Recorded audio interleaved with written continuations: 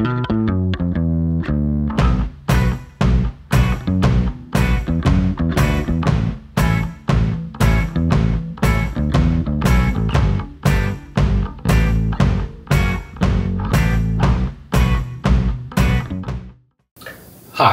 this is Christopher Brusa. Welcome back. Um, I just want to make a quick update on my channel. As you probably saw, I haven't been doing stuff in the past few months, and uh, honestly, I get a little burnt out on it.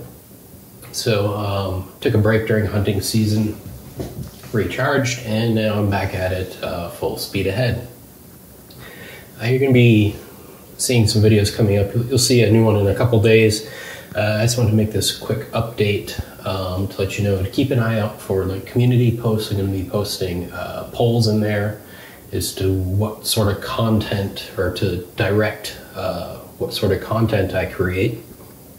Um, and the other uh, important thing I wanted to mention uh, you can see I have a short barreled rifle and a short barreled shotgun in front of me.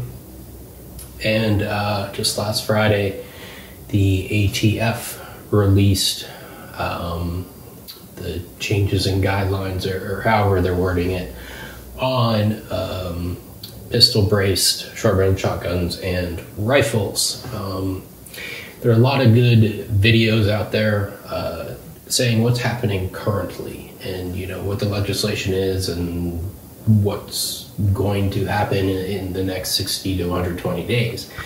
Uh, but nobody that I've seen has mentioned why we are where we are, why I had to pay a $200 tax stamp to have a 10 and a half inch barrel on this, I had to pay a $200 tax stamp to have a 14 inch barrel on that. And Ian McCollum of Forgotten Weapons did a amazing video on the history of short barreled rifles and short barreled shotguns. Uh, so I would suggest, I, I, would assume most of you probably seen it, or at least watch him.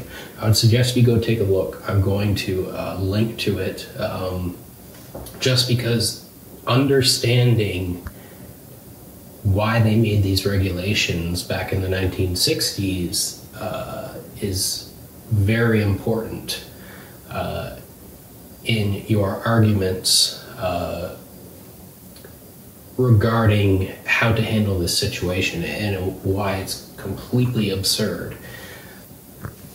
So, uh, go take a look at that, please. Um, I'll see you guys in a couple of days with the new Mossberg 590 Vang Comp 764, what they're calling the standard. So, thank you and enjoy.